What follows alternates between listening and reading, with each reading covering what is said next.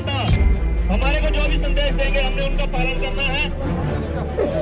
हमारे को कुर्बानी देनी पड़ेगी।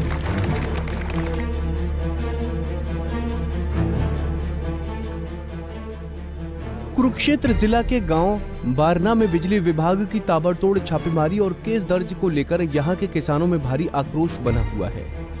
इसी के चलते आज किसानों ने बिजली कर्मचारियों के खिलाफ मोर्चा खोलते हुए लामबंद और कुरुक्षेत्र विश्वविद्यालय आदर्श थाना का घेराव किया।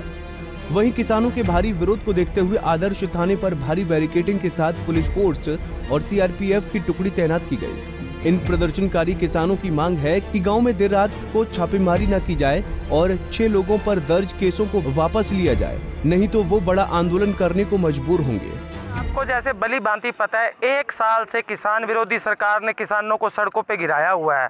उसी के मद्देनजर जैसे ही प्रधानमंत्री ने तीनों काले कानून वापस लेने का ऐलान किया तो ये हरियाणा की किसान विरोधी सरकार ने बिजली प्रशासन वालों को, किसानों को तंग करने का जिम्मा उठा लिया है। गत दिवस 25 तारीख को बिजली विभाग ने सुबह जब लोग सो रहे थे तो उनके घर छापे मारने का काम किया है, जबकि सबको अच्छी तरह पता है कि सब मीटर गाँव के घरों के बाहर लगे हुए हैं। उसके बावजूद भी बिजली विभाग के लोगों ने, जहाँ जिस समय घर में अकेली स्त्रियाँ थी, उन्होंने घर में जाके गाँव के किसानों को परेशान करने का काम किया है और उनके साथ बदसलूकी की है।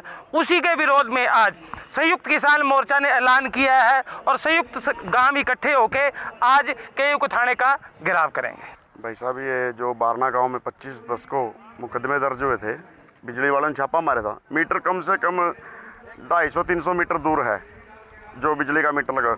और उसके घर में आके छापा मारते हैं, अकेली औरत होती है। तो क्या मतलब है बिजली वालों का, जब बच्चे स्कूल में गए, सब कुछ गए हुए और ये छापे मारते हैं? या बच्चे तैयार करने लग रहे वो बच्चे मतलब छः बजे सुबह हमारे यहाँ, बच्चे को तैयार करने लग रही थी लेडीज़। तब छापे मारे जाते हैं भाई साहब।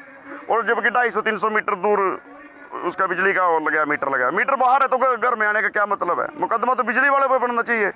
और दूसरा फिर पुलिस दुखी करती है भाई साहब, रात को डेढ़ दो बजे इज्जतदार लोग है, कोई मतलब खान वो तो है नहीं, खाना बदोश तो है नहीं गाँव में। के जाके रात को डेढ़ दो बजे पुलिस वाले कूद जाते हैं कांध पाना। देखिए, आज भारतीय किसान यूनियन ने आदर्श थाने का घेराव का ऐलान कर रखा था, जिसके चलते बीते दिन 25 तारीख को बारना गाँव के अंदर बिजली कर्मचारियों द्वारा आधी रात को छापा मारा जाता है, जिसमें अजीब परिस्थितियों में व्यक्तियों को परेशान किया जाता है, महिलाओं को परेशान किया जाता है।